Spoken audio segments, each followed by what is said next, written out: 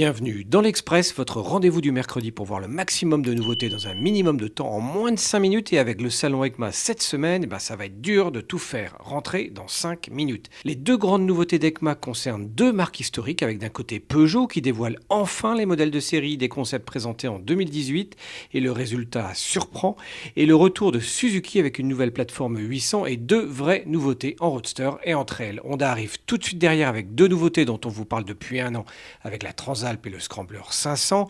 Puis Royal Enfield suit avec sa Super Meteor 650. Et puis toutes les nouveautés que l'on va lister à un train d'enfer en attendant l'hebdo de dimanche où on reviendra en détail sur les plus grosses nouveautés, ce dont on n'a pas parlé dans cet express. C'est parti. Cela faisait des années que l'on nous parlait de vraies nouveautés chez Suzuki. On interrogeait Soran à chaque fois sans rien voir venir. Ce coup-ci, c'est la bonne année avec une toute nouvelle plateforme 800 sur base de bicylindre en ligne. C'est très à la mode en ce moment, le bicylindre. Enfin, quand je dis 800, 776 cm3 pour être précis. Suzuki dévoile donc un roadster avec la GSX 8S développant 82,9 chevaux à 8500 tours minute et un couple de 78 Nm à 6800 tours minute avec des suspensions Kib, des freins des pneus pour 202 kg, le tout avec le plein d'électronique, trois modes de conduite, le contrôle de traction, un shifter bidirectionnel, un embrayage anti-dribble et une consommation réduite à 4,2 litres au 100 km, ce qui devrait donner 350 km d'autonomie avec le réservoir de 14 litres. Le duel va être sévère, on vous le dit, avec la Hornet 750.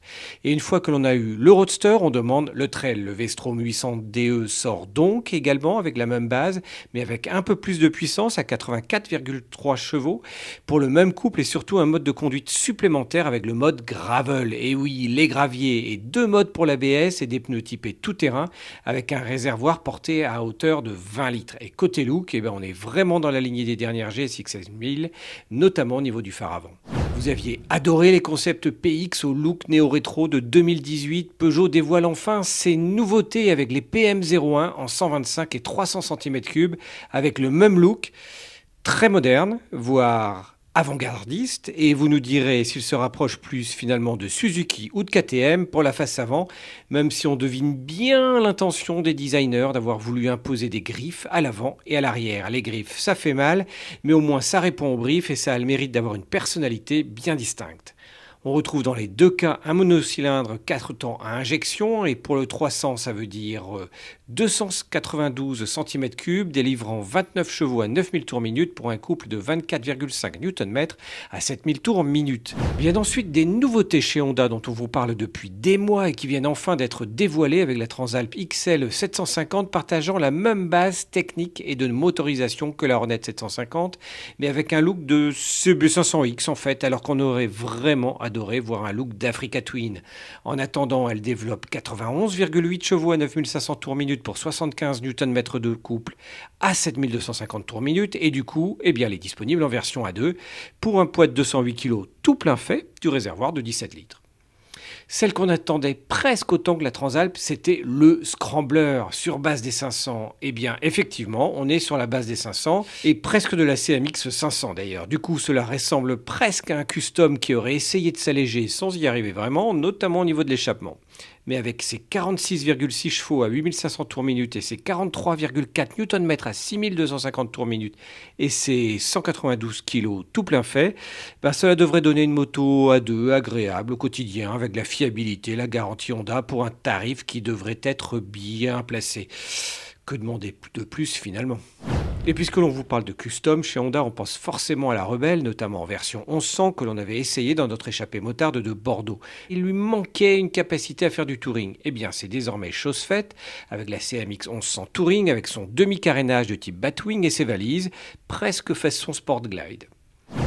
Cela faisait longtemps que l'on ne vous avait pas parlé des mais vous savez, le Land of Joy, le pays de la joie, façon Ducati. Il passe désormais en night shift ou service de nuit, même si on ne sait pas si cela signifie symboliquement qu'on va peut-être moins le voir en fait qu'auparavant. En tout cas, le coloris est vraiment réussi et surtout le modèle devient le vrai modèle café racer de la gamme face à l'autre modèle qui devient un peu plus sportif, voire typé flat track avec la full throttle. Mais c'est bien l'icône qui dévoile un nouveau look pour fêter son 100 millième exemplaire. Royal Enfield continue sur sa lancée de nouveautés. S'il va falloir encore attendre pour l'Himalayan 650, on a le droit à une super météore, autrement dit une version 650 de la 350, avec une puissance désormais presque doublée à 47 chevaux et 52,3 Nm, mais aussi avec 241 kg tout plein fait, oui, pour une 650. Qui a dit que les Benelli étaient lourdes?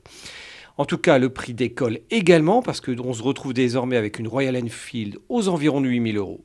Bon, la bonne nouvelle, c'est que le modèle est déjà décliné en trois versions, plus ou moins équipées et accessoirisées. Vous connaissiez la Tracer 9 et la Tracer 9 GT. Eh bien, il y a désormais un troisième modèle encore plus équipé, surtout plus équipé au niveau électronique avec la Tracer 9 GT plus, comme pour Monsieur Plus. En bref, vous prenez la GT et vous lui ajoutez un radar embarqué avec un régulateur de vitesse adaptatif, des suspensions électroniques, un vrai grand TFT connecté avec une navigation intégrée, un shifter, un freinage unifié UBS, mais aussi plus de confort pour devenir plus que jamais la routière de la gamme. En fait, l'unique routière de la gamme. Mais côté électronique, même les Tracer 7 et 7 GT, mais aussi les 700 Ténéré reviennent davantage équipés en électronique, tout comme la MT-07 avec son nouvel écran TFT. Par contre, pas de Ténéré 900 comme on s'y attendait peut-être, mais un nouveau Nikon avec un moteur plus puissant, un compteur connecté, une ergonomie revue, une électronique évoluée et des suspensions optimisées. On vous a déjà parlé des trois nouvelles Street triples développant de 120 à 130 chevaux avec la R, la RS et la Moto 2 Edition. On vous réfère à la vidéo dédiée à ces trois modèles pour en savoir plus.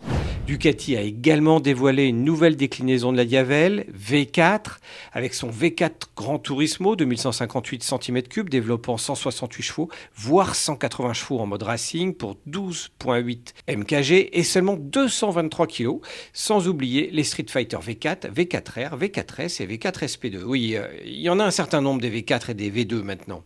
Et c'est tout Eh bien non, car il y a plein de vraies nouveautés, pour certaines surprenantes, certaines puissantes, d'autres très décoiffantes, chez plein de marques, pour certaines même pas encore distribuées en France, et notamment chez Benda, Benelli, CF Moto, Da Vinci, Hartford, Kiway, Malaguti, Meet, QG Motors, Renegade, Sim...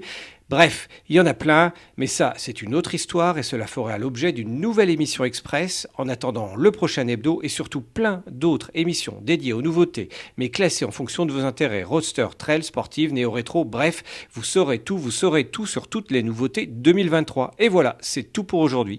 Mais les présentations des nouveautés continuent pendant les prochains jours, alors suivez-nous, abonnez-vous pour ne rien manquer de l'actualité moto. Merci de nous suivre et à dimanche.